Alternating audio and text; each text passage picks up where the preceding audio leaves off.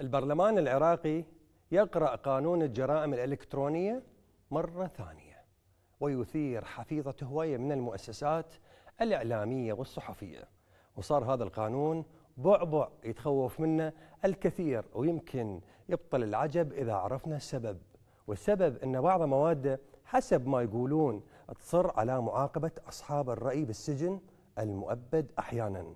وبعضها ينتهك حقوق الإنسان ويتعارض ويا الدستور اللي ينص على حرية العراقي بآراءه وأفكاره لكن إلى متى يبقى الإنترنت وجرائم الابتزاز والتهديد والوعيد والتشهير بالناس عبر مواقع التواصل الاجتماعي بدون رادع؟